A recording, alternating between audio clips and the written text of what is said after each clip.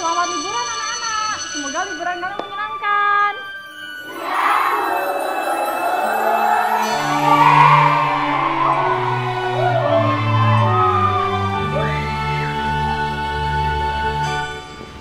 Hai kalian mau libur ke mana?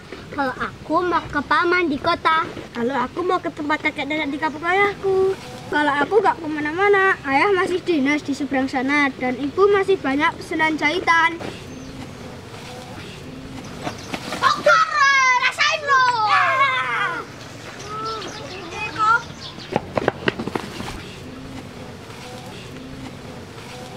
Eh, kamu nggak apa-apa toh? Nggak apa-apa.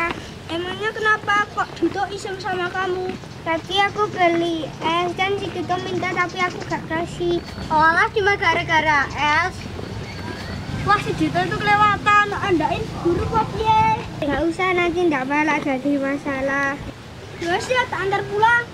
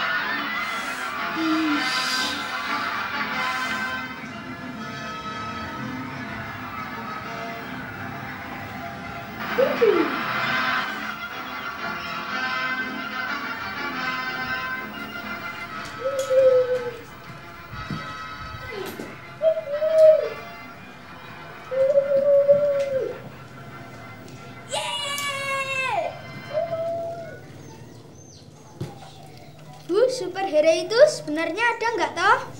Ya nggak ada toh, itu cuma ada di film-film. Tapi kan kalau ada superhero bisa bantu banyak orang. Seorang pahlawan itu tidak harus punya kekuatan super. Yang penting ikhlas menolong orang lain. Contohnya seperti ayahmu. Ayahmu kan seorang dokter. Beliau rela dinas sampai ke seberang untuk menolong korban bencana alam. Nah, ayahmu bisa juga disebut sebagai pahlawan. Oh, gitu ya, Bu. Ya. Azri,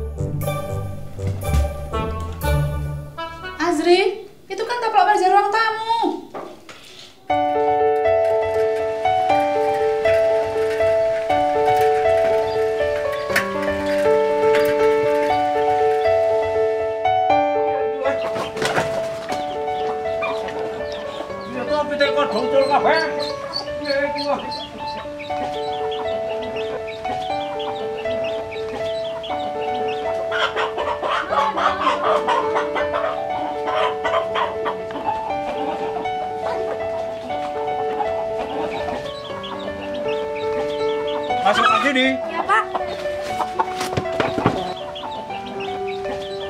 Loh, kamu kan Andre, anaknya Pak Dokter toh? Bukan, bukan. Saya Superboy. Bapak kalau butuh bantuan panggil saya Superboy. Oh ya, terima kasih.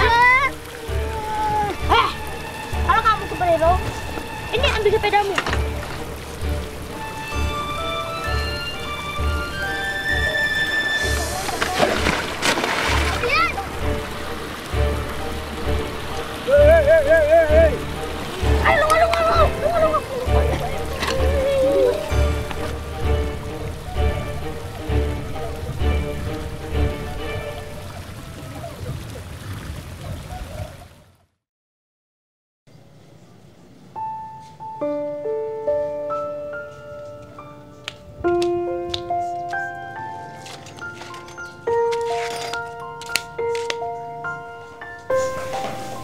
kamu kenapa?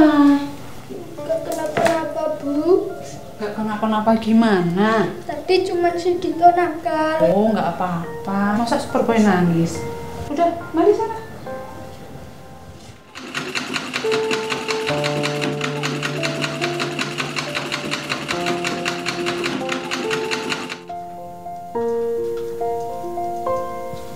Loh, kok masih murung? Masih mikir kejadian tadi? Enggak, Bu. Kenapa sih kita sering dijahatin orang lain padahal kita nggak pernah jahatin orang lain? Ya orang memang kadang seperti itu. Menjadi pahlawan itu nggak mudah kan? Pahlawan-pahlawan super yang sering kamu lihat di TV itu juga harus punya kekuatan fisik dan mental. Menjadi superhero itu memang banyak rintangannya. Harus rela berkorban untuk kepentingan orang banyak di atas kepentingan diri sendiri. Oh, gitu ya, Bu. Ya ya udah, ya makan sana. Superhero juga harus makan kan?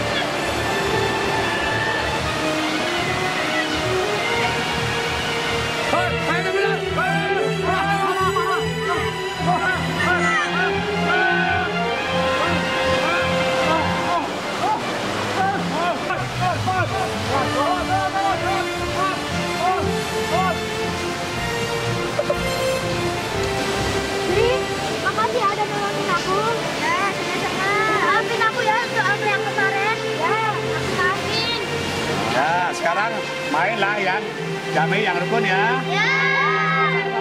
Hidup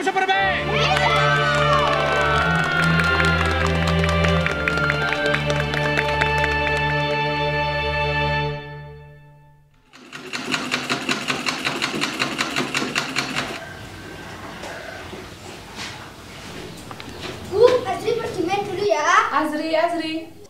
Sini sebentar Azri. Ini, ibu punya sesuatu buat kamu. Hore, hore. Sini ibu pakaikan. Sini ibu pakaikan.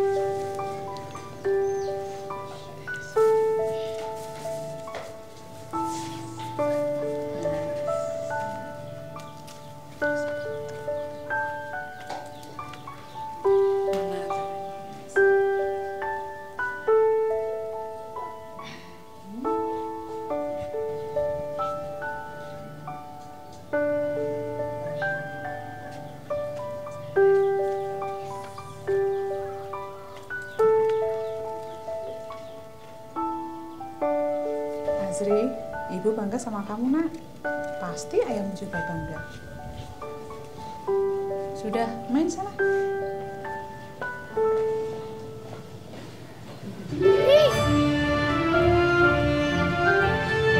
Abi ikut boleh nggak?